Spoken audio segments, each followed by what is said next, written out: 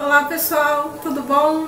Eu continuo agradecendo todos vocês que se inscreveram no canal. Para quem não me conhece, eu sou Elizabeth Gui e o canal é voltado para costura, para modelagem, para algumas manutenções de máquina, respondendo a pergunta da Cristiane Dantas, que ela informa que não está laçando os pontos na máquina, e a pergunta da Angela Matos, ela fala que a bobina não para no lugar no momento que ela costura e, no, e quando começa a costurar trava.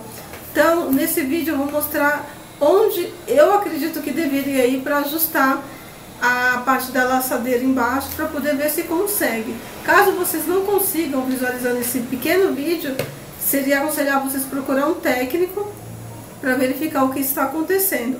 Mas procurem refazer tudo, todas as dicas que eu dei no canal, procurem refazer. Se não der certo, aí sim, gente, procura um técnico, porque aí eu já não vou saber responder mesmo, tá? Oi, tô aqui, tá? Bom, eu sei que vocês não querem, vocês não devem estar querendo saber se eu tô aqui ou não, vocês querem saber o que, que, o que, que pode ser feito. Bom, é, respondendo a pergunta da Cristiane Dantas, que ela falou que não está laçando os pontos. Aqui eu já virei a minha máquina, ela é muito pesada, dá dor até nas costas, mas toma muito cuidado na hora de virar para que você não tenha, não caia no pé, porque se cair no pé já viu, porque ela é de ferro. Então, olha só, eu coloquei ela aqui em cima, que é para mostrar para vocês, aqui ó. Aqui, ai gente, que perigo, ui, desculpa. Aqui tem a caixa da bobina.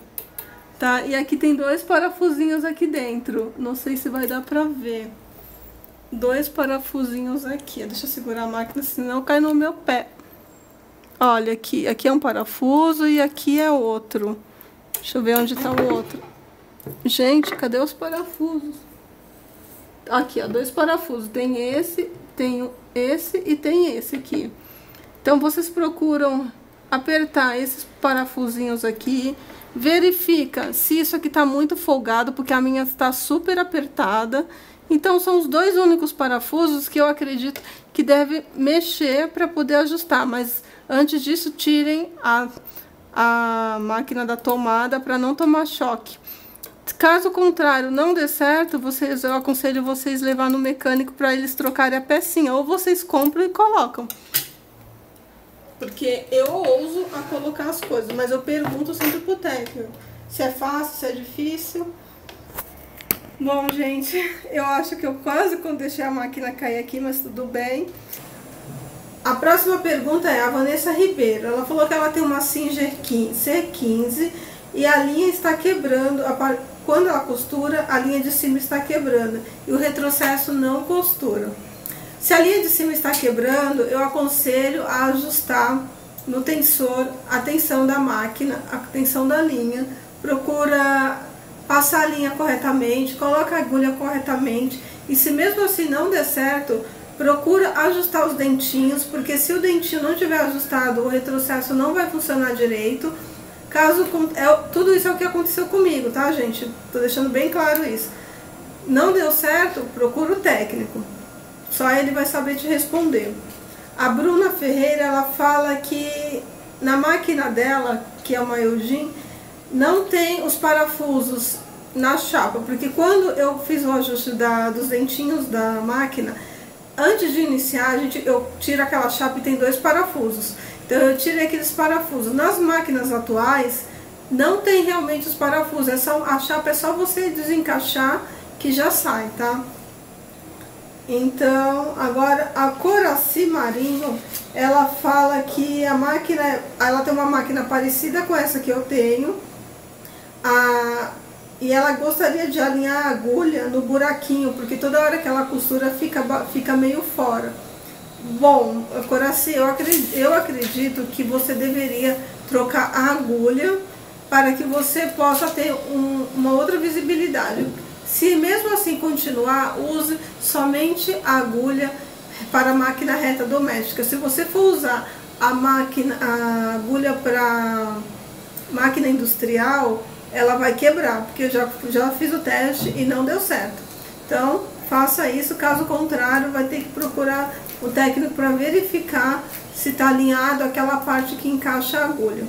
Das vezes que a agulha, que aconteceu isso, era porque ou a gente costura tecido muito grosso e aí entorta a agulha. É, o fato da gente costurar com alfinete, gente, às vezes eu acho que eu não olho para a câmera, mas estou me policiando. E às vezes o fato de você costurar com alfinete, a, a ponta da agulha bate no, no alfinete, ela dá uma entortada. Na hora de puxar a agulha, de tirar o tecido, você puxa para tirar o tecido, você já dá uma entortadinha na agulha, então verifica tudo isso, porque a agulha tem vida útil. Agora, a Ângela Matos, ela fala... A Ângela Matos é aquela que eu já respondi, a da última pergunta, né? Agora, a Francisca Socorro, ela fala que a agulha tá batendo no calcador. O que, que ela faz? Bom, Francisca, é o mesmo caso da Michelle. Eu te aconselho a fazer isso, exatamente isso, trocar agulha, evitar costurar com alfinete. Toda vez que chegar perto do alfinete, tire costura, tire costura ou alinhava, mas evita mesmo, porque isso acaba danificando toda a agulha e com isso acaba quebrando a ponta, e aí no caso vai costurar o tecido fino, ela puxa, Bom, gente, o vídeo é isso, é basicamente é isso, é respondendo algumas perguntas. Algumas outras eu já res, tinha respondido antes, né, no, nos comentários. Eu agradeço mesmo, de gratidão, todos vocês. Quero agradecer também um rapaz que deixou claro que a máquina borda, que eu não tinha tanta certeza ainda, mas realmente ela borda. Tem alguns canais do YouTube que mostram como bordar com essa máquina. E é isso, espero que vocês tenham gostado, deixa seus likes. Quem quiser me mandar tecidos, um manequim de costura, algum, tô dando sugestões, hein gente? Alguma coisa referente à modelagem, pode entrar em contato comigo pelo e-mail que eu vou deixar no box de informação. Aceito sim tecidos, algumas pessoas já me perguntaram se eu gostaria de receber tecidos. Lógico, né gente, que eu aceito, eu gostaria muito de um mês que vem fazer um vestido de noiva aqui com vocês no canal, todo o processo, sem véu, porque eu não gosto de véu, mas eu respeito quem gosta, deixando bem claro. É, eu sou muito fanática por vestido de noivas e gostaria de fazer um vestido retrozinho. Então, se alguém aí do outro lado quiser me oferecer de coração um tecido lindo para fazer um vestido de noiva aqui no canal, eu estou aberta a receber essas esses brindes, esses mimos que eu vou receber com muito carinho. Também estou precisando mesmo de um manequim, de preferência um 40, que é um tamanho adequado para fazer as roupas, e com isso a gente acaba fazendo mulagem no manequim. Espero que vocês gostem do, do vídeo, deixe seus likes se você gostou, e até o próximo vídeo. Tchau, tchau!